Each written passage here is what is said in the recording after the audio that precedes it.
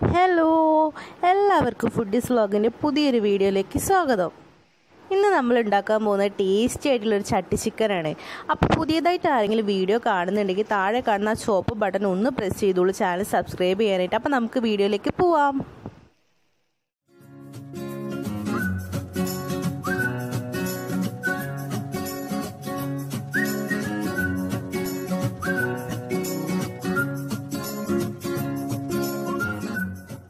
അപ്പോൾ ഇത് എത്ര സാധനങ്ങൾ നമുക്ക് ചട്ടി ചിക്കൻ ഉണ്ടാക്കാൻ ആവശ്യമായിട്ടുള്ളത്. മല്ലിയില ഞാൻ നാല് തണ്ട് എടുത്തിട്ടുണ്ട്. കറിവേപ്പില ഒരു തണ്ട് മാത്രമേ എടുത്തിട്ടുള്ളൂ. പിന്നെ നമുക്ക് വേണ്ടി ചെറുനാരങ്ങേന്റെ പകുതി. പകുതി മാത്രം മതി. ഇനി തൈര് ആഡ് ചെയ്യാൻ ഇഷ്ടമുള്ളവർക്ക് തൈര് ആഡ് ചെയ്ത് കൊടുക്കുക കുഴപ്പമൊന്നുമില്ല. പിന്നെ വേണ്ടത് പച്ചമുളക്. പച്ചമുളക് ഞാൻ നാലെണ്ണം എടുത്തിട്ടുണ്ട്. മുളക് നാലെണ്ണം മാത്രം മതി. കുരുമുളക് പൊടിയും മുളക് പൊടിയും കൂടെ നമ്മൾ ആഡ് ചെയ്യുന്ന സമയത്ത് കുറച്ചും കൂടെ സ്പൈസി ആയിരിക്കും. അതുകൊണ്ട് ഇത്ര മാത്രം എടുത്താൽ മതി. പിന്നെ ഇനി വേണ്ടത് ഇഞ്ചി വെളുത്തുള്ളി. ഇഞ്ചി ഒരു ചെറിയ കഷ്ണം എടുത്തിട്ടുള്ളൂ. വെളുത്തുള്ളി ഞാനൊരു ഏഴെണ്ണം വരെ എടുത്തിട്ടുണ്ട്. പിന്നെ ഇനി വേണ്ടത് പൊടികളാണ്. അതായത് കുരുമുളക് പൊടി ഞാൻ ഒന്നര ടേബിൾ സ്പൂൺ എടുത്തിട്ടുണ്ട്. പെരുംജീരകപ്പൊടി ഞാൻ ഇവിടെ കാൽ ടീസ്പൂൺ എടുത്തിട്ടുണ്ട്. പിന്നെ മുളക് പൊടി ഒന്നര ടേബിൾ സ്പൂൺ എടുത്തിട്ടുണ്ട്. സാധാരണ മുളക് പൊടിയാണ് കാശ്മീരി ഒന്നല്ല. പിന്നെ വേണ്ടത് മഞ്ഞൾപ്പൊടി അര ടേബിൾ സ്പൂൺ എടുത്തിട്ടുണ്ട്. ഗരം മസാല ഞാൻ രണ്ട് ടേബിൾ സ്പൂൺ എടുത്തിട്ടുണ്ട്. കാരണം ഒന്ന് ചിക്കൻ ഒന്ന് മാഗ്നേറ്റ് ചെയ്ത് വരുമ്പോഴത്തേക്ക് അതിൽ മിക്സായി വരും എന്തെല്ലാം രണ്ട് ടേബിൾ സ്പൂൺ എടുക്കേണ്ടി വരും. പിന്നെ ഉപ്പ് ഉപ്പ് ഞാൻ ഒരു ടേബിൾ സ്പൂൺ മാത്രമേ എടുത്തിട്ടുള്ളൂ ആവശ്യത്തിന് നമുക്ക് ചേർത്ത് കൊടുക്കുക അപ്പോൾ അത് ഇത്രയും സാധനങ്ങളാണ് നമുക്ക് ആവശ്യമായിട്ടുള്ളത്. ഇനി നമുക്ക് ഇതെല്ലാം കൂടെ ഒന്ന് മിക്സിയിലിട്ട് നല്ല പോലെ പേസ്റ്റ് ആക്കി എടുക്കണം. അപ്പോൾ അതിന് വേണ്ടിയിട്ട് മുളക് ഇഞ്ചി വെളുത്തുള്ളി കറിവേപ്പില മല്ലിയിലൊക്കെ ഇട്ട് കൊടുത്തിട്ടുണ്ട്. പിന്നെ അതിലേക്ക് നേരത്തെ എടുത്ത് വെച്ചിരിക്കുന്ന നമ്മളെ പൊടികൾ അതായത് മുളക് പൊടി മഞ്ഞൾപ്പൊടി എല്ലാം കൂടെ ചേർത്ത് കൊടുക്കുക. അതിനുശേഷം നമ്മൾ നേരത്തെ കട്ട് ചെയ്ത് വെച്ചിരിക്കുന്ന നാരങ്ങേന്റെ പകുതി ഉണ്ടായിരുന്നു. അപ്പോൾ അതിന്റെ ജ്യൂസ് ഒന്ന് ഇതിലേക്ക് ആഡ് ചെയ്ത് കൊടുക്കുക. ഇനി ഇത് നല്ലപോലെ ഒന്ന് പേസ്റ്റ് ആക്കി എടുക്കുക. ചിക്കനിലേക്ക് ഇതിന്റെ ഫ്ലേവർ പിടിക്കണമെങ്കിൽ നല്ലപോലെ പേസ്റ്റ് ആക്കി ഇടണം. എന്നാൽ മാത്രമേ നല്ല ടേസ്റ്റി ആയിട്ട് കിട്ടുള്ളൂ.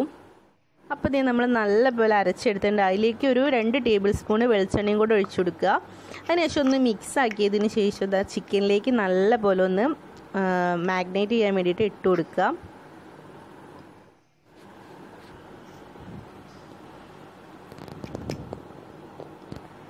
നമ്മളിപ്പോൾ മുഴുവനായിട്ട് ഇട്ട് കൊടുത്തിട്ട് അപ്പോൾ സ്പൂണോട് വേണമെങ്കിൽ നല്ലപോലെ ഒന്ന് മിക്സ് ആക്കി എടുക്കുക. കൈ കൊണ്ടായിരിക്കും കുറച്ചും കൂടെ ബെറ്റർ ആയിട്ട് വരും അപ്പോൾ ഞാൻ കൈ കൊണ്ട് മിക്സ് ആക്കി എടുത്തിട്ട് കാണിച്ചു തരാം. ഇത് അതുപോലെ നല്ലപോലെ ഞാൻ കുഴച്ചെടുത്തിട്ടുണ്ട്. അപ്പോൾ ഇത് ഞാൻ എന്താ ഇനി ചെയ്യാൻ പോകുന്നതെന്ന് വെച്ചിട്ടുണ്ടെങ്കിൽ ഞാൻ അപ്പോൾ ഇത് രാത്രിയാണ് ചെയ്തത്. അപ്പോൾ ഞാൻ ഇനി ഫ്രിഡ്ജിൽ വെക്കാൻ പോവുകയാണ് നാളെ മോർണിംഗ് ആണ് ഇനി കുക്ക് ചെയ്യാൻ പോകുന്നത്. പെട്ടെന്ന് ഉണ്ടാക്കാൻ ഇഷ്ടമുള്ളവർക്ക് ഒരു മൂന്നോ നാലോ മണിക്കൂർ ഒന്ന് ഫ്രിഡ്ജിൽ വെച്ചതിന് ശേഷം എടുത്താൽ മതി.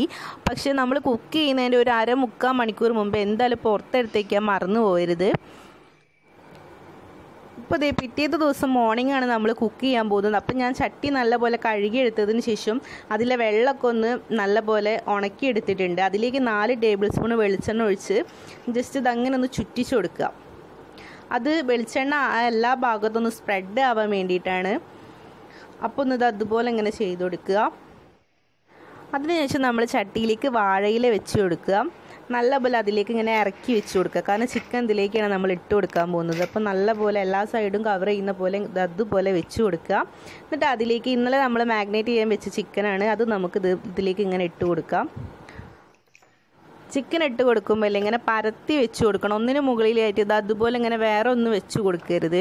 അങ്ങനെ ആവുന്ന സമയത്ത് നല്ല പോലെ വെന്ത് കിട്ടാൻ കുറച്ച് ബുദ്ധിമുട്ടായിരിക്കും. അപ്പോൾ നമുക്ക് അതൊന്ന് പരത്തി ഇത് അതുപോലെ ഇങ്ങനെ പരത്തി വെച്ച് കൊടുക്കാം. അതിനുശേഷം ഒരു അഞ്ച് ടേബിൾ സ്പൂൺ വെളിച്ചെണ്ണ ഇതിന് മുകളിലായിട്ട് ഇങ്ങനെ ഒഴിച്ചു കൊടുക്കുക.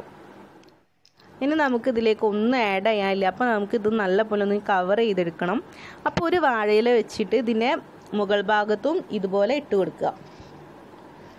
എന്നിട്ട് നല്ല പോലെ ഒന്ന് അതിനെ പൊതിഞ്ഞെടുക്കുന്ന പോലെ ജസ്റ്റ് ഒന്ന് കവർ ചെയ്ത് വെക്കുക. അപ്പോൾ ഇതേ നമുക്കിനി ഇത് ദമ്മ ചെയ്തെടുക്കാൻ വേണ്ടി ഞാനിവിടെ അലൂമിനിയത്തിന്റെ മൂടിയാണ് എടുക്കുന്നത്. അപ്പോൾ ചട്ടീന്റെ മൂടി എന്റെ കയ്യിലുണ്ട്. പക്ഷെ ഞാനത് എടുക്കുന്നില്ല. കാരണം എന്താണെന്ന് വെച്ചിട്ടുണ്ടെങ്കിൽ നമ്മൾ ദമ്മ ചെയ്ത് കഴിഞ്ഞിട്ടുണ്ടെങ്കിൽ ആ സ്റ്റീമിൽ ചിലപ്പോൾ ഒരു പക്ഷേ പൊളിച്ചെടുക്കുമ്പോൾ ഇത് പൊട്ടിപ്പോവാൻ ചാൻസ് ഉണ്ട്. അപ്പോൾ ഞാൻ വെറുതെ വേസ്റ്റ് ചെയ്യണ്ടല്ലോ എന്ന് വിചാരിച്ചിട്ട് ഇത് അലൂമിനിയത്തിന്റെ മൂടിയാണ് ഞാൻ എടുക്കുന്നത്. അപ്പോൾ അതിന് ചുറ്റിലായിട്ട് ഞാൻ അവിടെ മൈദപ്പൊടി ഒട്ടിച്ച് കൊടുത്തിട്ടുണ്ട്. ഞാൻ സാധാരണ യൂസ് ചെയ്യുന്നത് ഈ മൂടി തന്നെയാണ്. അപ്പോൾ അതുകൊണ്ടാണ് അതിന് ഇത് ചെറിയൊരു കളർ ചേഞ്ച് ഉണ്ട്. അതുകൊണ്ടാണ് അപ്പോൾ ഇത് നല്ല പോലെ ഞാൻ മൂടി വെച്ചതിന് ശേഷം ഒന്ന് പ്രസ് ചെയ്ത് കൊടുക്കുക. ഇപ്പോൾ ഇത് ഞാൻ അടുപ്പിൽ വെച്ചിട്ടുണ്ട്. തീ അധികം കത്തിച്ച് കൊടുക്കേണ്ട. കാരണം പെട്ടെന്ന് കരിഞ്ഞു പോകാൻ ചാൻസ് ഉണ്ട്. അപ്പോൾ ഒരു പതിനഞ്ച് മിനിറ്റ് ഇങ്ങനെ കത്തിയതിന് ശേഷം ഇതൊന്ന് പിന്നെ ഈ കത്തിയിട്ടുള്ള ഈ കണലില്ലേ ആ കണലെടുത്തിട്ട് ഈ മൂടീന്റെ മുകളിലേക്ക് ഇട്ട് കൊടുക്കുക. അപ്പോൾ താഴെ ആവശ്യത്തിന് കത്താനുള്ള രീതിയിലാക്കി വെച്ചാൽ മതി. എന്നിട്ട് ബാക്കി ഇതിന് മുകളിലേക്ക് ഇട്ട് കൊടുക്കുക. ഒരു അരമണിക്കൂറിന് ശേഷം നമുക്കിത് എടുത്ത് നോക്കണം. അപ്പോൾ എടുക്കുമ്പോൾ എല്ലാവരും ശ്രദ്ധിക്കുക. നല്ലപോലെ കൈ പൊള്ളുക മൂടി തൊടുന്ന സമയത്ത്. അപ്പോൾ അതൊന്ന് നല്ലോണം ഒന്ന് ശ്രദ്ധിക്കുക. എന്നപ്പോൾ ഞാൻ എടുത്തുകൊണ്ട് വന്നിട്ടുണ്ട്. അപ്പോൾ അത് നമുക്കൊന്ന് തുറന്നു നോക്കാം. അപ്പോൾ അത് ഇത് നല്ലപോലെ വിട്ട് വന്നിട്ടുണ്ട്. നമ്മൾ ദമ്മിട്ടത് അപ്പോൾ മൂടി പെട്ടെന്ന് എടുക്കാൻ പറ്റും. അപ്പോൾ ഈ കാണുന്നത് നീരാവിന്റെ വെള്ളമാണ് അപ്പോൾ നമുക്ക് ആ വാഴയില മെല്ലെ ഒന്ന് എടുത്തു കൊടുക്കാം. അപ്പോൾ തന്നെ നല്ല സ്മെല്ല് വരുന്നുണ്ട്. അപ്പോൾ കുക്ക് ആയിട്ടുണ്ടോ എന്ന് നോക്കാം. ജസ്റ്റ് ഒന്ന് ഇങ്ങനെ മറച്ചിട്ട് നോക്കിയാൽ മതി കുക്ക് ആയിട്ടുണ്ടോ എന്നുള്ളത് അപ്പോൾ അതേ ഒരു ഭാഗം നല്ല പോലെ നല്ല കളർ തന്നെ കാണുമ്പോൾ കഴിക്കാൻ തോന്നുന്നില്ല. നല്ല അടിപൊളിയായിട്ട് കിട്ടിയിട്ടുണ്ട്. അപ്പോൾ നമുക്കിതൊന്ന് പൊളിച്ച് നോക്കാം. അപ്പോൾ ആ ചിക്കൻ നല്ല പോലെ വെന്തിട്ടുണ്ട്. അപ്പോൾ ഈ ഒരു സൈഡ് നമുക്ക് നല്ല പോലെ കുക്കായി കിട്ടിയിട്ടുണ്ട്. കണ്ടില്ല? നല്ല പോലെ വെന്തിട്ടുണ്ട്. ഇനി ചെയ്യേണ്ടത് എന്താണെന്ന് വെച്ചിട്ടുണ്ടെങ്കിൽ ഈ ഇപ്പം അടിഭാഗമല്ല നമുക്ക് നല്ലപോലെ കുക്കാക്കിയിട്ടിരിക്കുന്നത് അപ്പോൾ ഇതിന് നമുക്ക് മറിച്ചിട്ട് കൊടുക്കണം. മറിച്ചിട്ടതിന് ശേഷം ഒരു പതിനഞ്ച് മിനിറ്റ് ഈ കാണലൊക്കെ അവിടെ തന്നെ ഉണ്ടാവുമല്ലോ അടുപ്പിൽ അപ്പോൾ അതിൽ തന്നെ ഒന്ന് പതിനഞ്ച് മിനിറ്റ് ഒന്ന് കൊണ്ട് ഒന്ന് കൊണ്ട് വെച്ച് കൊടുക്കുക. ഏഹ് അപ്പോൾ അതിന് ശേഷം എടുക്കുമ്പോൾ നമുക്ക് ആ ഭാഗം നല്ല പെർഫെക്റ്റ് ആയിട്ട് കിട്ടിയിട്ടുണ്ടായിരിക്കും. അപ്പോൾ അതെ പതിനഞ്ച് മിനിറ്റിനടുത്ത് ഞാൻ അവിടെ കൊണ്ടുപോയി വെച്ചതിന് ശേഷം ഞാൻ പിന്നെ എടുത്തത്. അപ്പോൾ ദമ്മ ചെയ്യേണ്ട ആവശ്യമൊന്നുമില്ല. ജസ്റ്റ് ഒന്ന് ഒരു പതിനഞ്ച് ഇരുപത് മിനിറ്റിനടുത്ത് ഒന്ന് വെച്ച് കൊടുത്താൽ മതി. അപ്പോൾ അത് നമുക്കിത് തുറന്ന് നോക്കാം. സൈഡിലൊക്കെ നല്ല പോലെ ഒന്ന് ജസ്റ്റ് ഒന്ന് കരിഞ്ഞ പോലെ ഉണ്ട്. വാഴയില നമുക്കൊന്ന് മെല്ലെ എടുത്ത് നോക്കാം. അപ്പോൾ അത് അടിപൊളി സ്മെല്ലാണ് വരുന്നത് വാഴയില എടുത്തപ്പോൾ തന്നെ. കളറിനെ കണ്ടിട്ട് ഇപ്പോൾ തന്നെ കഴിക്കാൻ തോന്നുന്നു.